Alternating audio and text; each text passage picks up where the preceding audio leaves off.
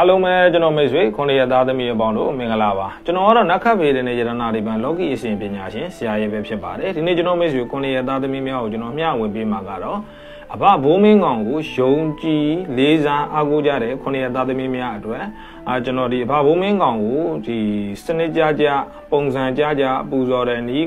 ကိုးကွယ်တဲ့နီးကိုကျွန်တော်ပြောပြပေးမှာပဲဖြစ်ပါတယ်မိတ်ဆွေတို့အနေနဲ့ဘာဘုံမင်းကောင်ကိုယုံကြည်လေးစားတဲ့ အားကိုးကြတဲ့မိတ်ဆွေများဆိုလို့ရှိရင်ဒီဗီဒီယိုလေးကိုအဆုံးထိလိုက်ကြည့်ပေးပါမိတ်ဆွေရဲ့အိမ်မှာအဘဘုံမင်းကောင်ရဲ့ရုပ်ထုရှိတယ်ဒါမှမဟုတ်လို့ရှိရင်ပုံတော်ရှိတယ်ဆိုလို့ရှိရင်အဲ့ဒီရှေ့မှာနေ့စဉ်နေ့တိုင်းတရက်ကိုကွန်း300ရေနွေးရေနွေးတစ်ခွက်နဲ့စိတ်လိတ်တလိတ်အမြဲတမ်းအဘဘုံမင်းကောင်ကိုတင်ပေးရမှာပဲဖြစ်ပါတယ်အဲ့လိုတင်ပေးပြီးတော့တပတ်တစ်ကြိမ်မိတ်ဆွေအနေနဲ့ရှောက်သီးတစ်လုံးဝယ်ပါအဝတ်ချုပ်အပ်လေးချောင်းဝယ်ပါ အဲ့လိုရဝယ်ပြီးပြီဆိုလို့ရှိရင်တော့ရှောက်သီးရဲ့ဘေးတစ်ဖက်တစ်ချက်စီကနေအရက်လေးမျက်နှာဒီလိုအက်ကလေးတွေကိုအကုန်လုံးထိုးဆိုင်လိုက်ပါအရက်လေးမျက်နှာကနေအဲ့လိုထိုးဆိုင်ပြီးတာ ਨੇ အဲ့ဒီအက်ကလေးတွေဟာဒီအချီထဲတဲ့ခေါင်းလေးတွေပဲကြံရပြီးတော့ကြံတဲ့အအရှိရှိရင်ရှိသလောက်ဒီရှောက်သီးတွေကိုအကုန်ထိုးထည့်ရမှာပဲဖြစ်ပါတယ်အဲ့လိုအရက်လေးမျက်နှာ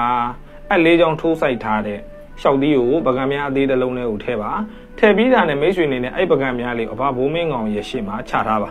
ခြာထားပြီးတာနဲ့မိတ်ဆွေအနေနဲ့နေ့စဉ်နေ့တိုင်းဖရဝတ်တဝကပြုတဲ့ချိန်တိုင်းမိတ်ဆွေအဲ့ဒီရှောက်သီးလေးအညာပေါ်မှာဖျောင်းနိုင်သည့်တိုင်းအမြဲတမ်းထုံးပါထုံးပြီးတာနဲ့အဘဘိုးမင်းကောင်ထံမှာမိတ်ဆွေဆူတောင်းပါမိတ်ဆွေရဲ့စီးပွားရေးလူမှုရေးအိမ်တော်ရေးကျန်းမာရေးစသည့်ခတ်သိန်းတို့ဟာ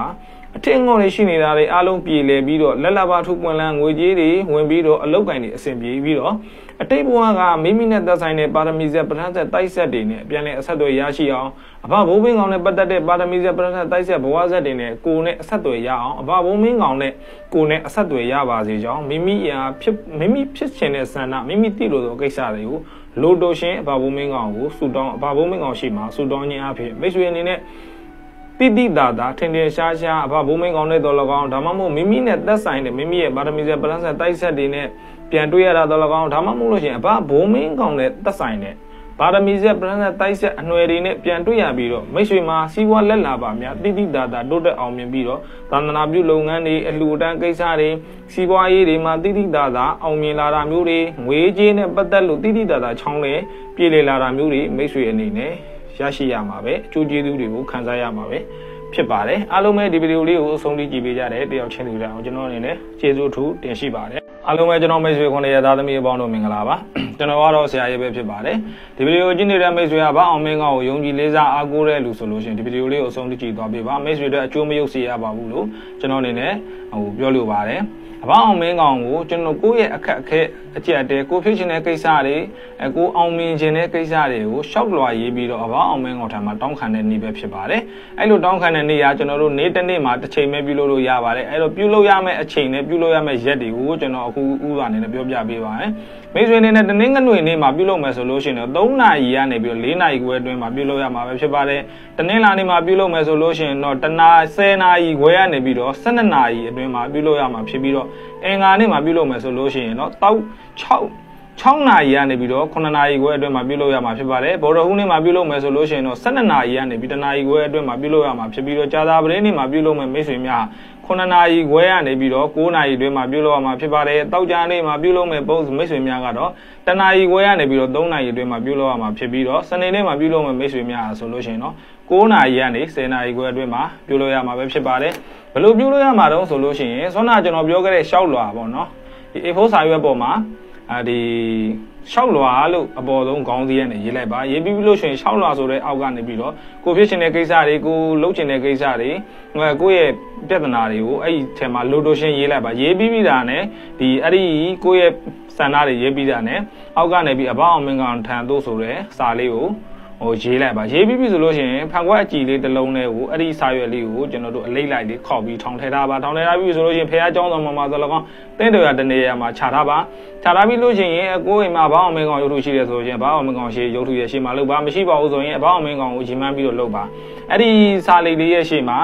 မိတ်ဆွေအနေနဲ့ ဖျောင်းတိုင်း၅တိုင်းအမွှေးတိုင်း၅တိုင်းကိုထုံးပြီးတော့မိတ်ဆွေဆူတောင်းရမှာပဲဖြစ်ပါတယ်အဲ့ဒီဖျောင်းတိုင်း၅တိုင်းအမွှေးတိုင်း၅တိုင်းထုံးပြီးတဲ့အချိန်မှာမိတ်ဆွေရွတ်ဆိုရမယ့်ဂါရာလေးရှိပါတယ်ဒီဂါရာလေးကိုအဲ20နဲ့မှ9ခေါက်ရိုးရမှာဖြစ်ပါတယ်ပေါ့နော်ကျွန်တော်တစ်ခေါက်ရွတ်ပြပေးပါမယ်။ဩစာရဘဝမဟာသိတိဩအာကာဘဝမဟာဒိဋ္ဌိဩသာဝဂာနမဟာဒိဋ္ဌိဩလာကာဂာနမဟာဒိဋ္ဌိစမလေးမျိုးအုပ်စိုးသည့်တခင်မဟာဒိဋ္ဌိဩပုဒိအားမဟာဒိဋ္ဌိမဟာဒိဋ္ဌိဗမင်းကောင်အုပ်ရှောင်ဒိဋ္ဌိပြေဆိုပြီးတော့ဆိုရွတ်ဆိုရမှာပဲဖြစ်ပါတယ်အဲ့လိုရွတ်ဆိုပြီးတာနဲ့မိတ်ဆွေအနေနဲ့အဲကိုမှဖြစ်ပေါ်နေတဲ့ဒီကိုစာရိတ်ထဲမှာရေးထားတဲ့ဥစ္စာတွေကိုအဘအမြန်ဆုံးအဲပြည်လေအောင်ဖြည့်ရှင်းပေးဖို့ကူညီပေးဖို့စောင့်ရှောက်ပေးပါဆိုပြီးတော့မိတ်ဆွေအနေနဲ့အဆူတောင်းလိုက်ခြင်းအပြင်မိတ်ဆွေရဲ့အခက်အခဲကြက်တဲ့အမြန်ပြေဆုံးပြီးတော့မိတ်ဆွေကအဘအောင်မင်းကောင်ကိုကိုယ်ွယ်ယုံကြည်ပူဇော်ပါးသားနဲ့အမြဲလုံနေတဲ့လူဆိုလို့ရှိရင် ရက်ပိုင်းအတွင်းလပိုင်းအတွင်းမှာပဲမိတ်ဆွေဖြစ်ချင်တဲ့ကိစ္စတွေကိုတိတိတတာမြန်မြန်ဆန်ဆန်အောင်မြင်လာသည်မှာပဲဖြစ်ပါတယ်အားလုံးပဲကျေးဇူးတင်ပါတယ်ဒီဗီဒီယိုလေးကိုအဆုံးထိကြည့်ပေးကြတဲ့မိတ်ဆွေတယောက်ချင်းဒီတိုင်းအကျိုးရှိမယ်လို့ကျွန်တော်အနေနဲ့ယုံကြည်ပါတယ်အားလုံးပဲကျေးဇူးတင်ပါတယ်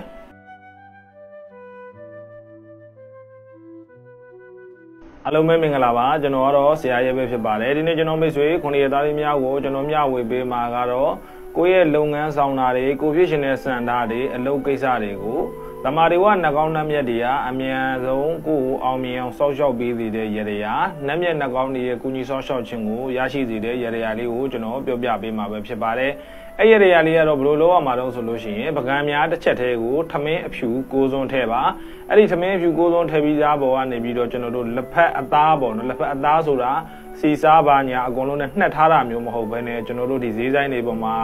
ကျွန်တော်တို့ဟိုလို တစ်ဖက်အကျန်းလို့ခေါ်တာပေါ့နော်အဲ့လိုလက်ဖက်တစ်စုံထည့်မယ်ပြီးလို့ရှိရင်အုံသီးစိတ်တစ်စိတ်ထည့်မယ်အဲ့လိုထည့်ပြီးလို့ရှိရင်အဲ့ဒီထမင်းပကံများလေးရဲ့အလဲကောင်မှာဖျောင်းနိုင်လေးတစ်တိုင်းထွန်းလိုက်ပါထွန်းပြီးပြီဆိုလို့ရှိရင်မိတ်ဆွေအနေနဲ့အဲ့ဒီပကံများလေးကိုဒီကျွန်တော်တို့ဖရားเจ้าဆောင်ရဲ့တနေရာရာတင့်တော်ရာနေရာမှာမိတ်ဆွေအနေနဲ့ကိုကိုတမာရီဝနှကောင်းနှမြတ်တွေကကိုဖြစ်ရှင်တဲ့လုပ်ငန်းတွေကိုလုပ်ချင်တဲ့လုပ်တွေကိုယ့်ရဲ့ဆန္ဒတွေကိုအများဆုံးဖြည့်ဆည်းပေးဖို့ကိုဖြစ်ချင်တဲ့ကိစ္စကို လိုတိုရှင်ဆူတောင်းပေးရမှာပဲဖြစ်ပါတယ်အဲ့လိုဆူတောင်းပေးခြင်းအဖြစ်မိတ်ဆွေဖြစ်ချင်တဲ့ဆန္ဒတွေမိတ်ဆွေလုပ်ချင်တဲ့အလုပ်တွေအခက်ခဲအကျက်တဲပြဿနာကိစ္စပေါင်းစုံကို တမာတွေဝနှကောင်းနှမြတ်တွေကကူညီဆောင်ရှောက်ပေးခြင်းအပြင်မိတ်ဆွေအနေနဲ့လူရဆန္ဒတွေပြေဝစေမှာပဲဖြစ်ပါတယ်ဒီတစ်ချိန်လေးကိုကျွန်တော်တို့တစ်ပတ်တစ်ချိန်ဒါမှမဟုတ်လို့ရှိရင်တနင်္ဂနွေနေ့မနက်ခင်းရောက်တိုင်းရောက်တိုင်းပြုလုပ်ပေးသင့်ပါတယ်ပြုလုပ်ရမယ့်အချိန်ကတော့မနက်ခင်းအာယုံမှီတယ်ဆိုလို့ရှိရင်အာယုံလုပ်ပေးပါအကယ်၍အာယုံမမှီဘူးဆိုလို့ရှိရင်တော့ကျွန်တော်တို့ဒီ6နာရီခွဲအတွင်းမှာ